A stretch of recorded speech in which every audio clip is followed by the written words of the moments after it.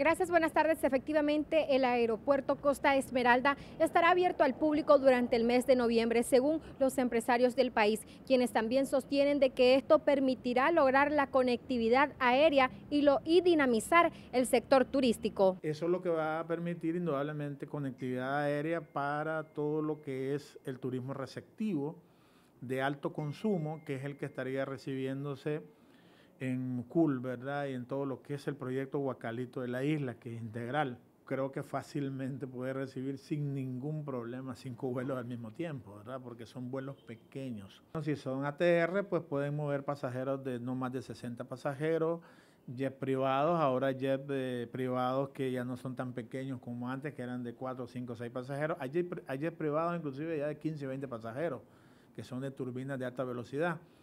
Eh, estará recibiendo ahorita vuelos pequeños, los vuelos tradicionales como los vuelos que tenemos de la costeña, ¿verdad?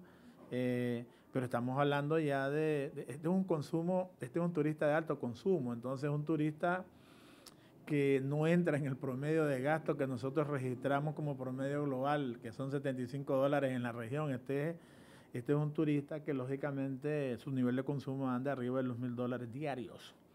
Entonces, eh, traer 60 turistas de ese nivel de consumo, ya te puedes imaginar lo que significa en una pernotación que puede ser de 9, de 10 días, eh, eh, que te consuma más de mil dólares diarios, entonces ahí tenés una capacidad importantísima de consumo que no la tenés en este momento, ¿verdad? El aeropuerto Costa Esmeralda estará tan solo 15 minutos del complejo turístico Huacalito de la isla. Con esta información regreso a Estudios Centrales de CB24 Noticias.